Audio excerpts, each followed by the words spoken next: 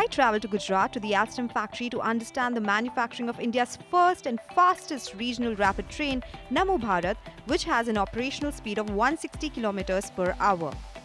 Let me take you inside the premium coach which is ready for delivery and show you the features.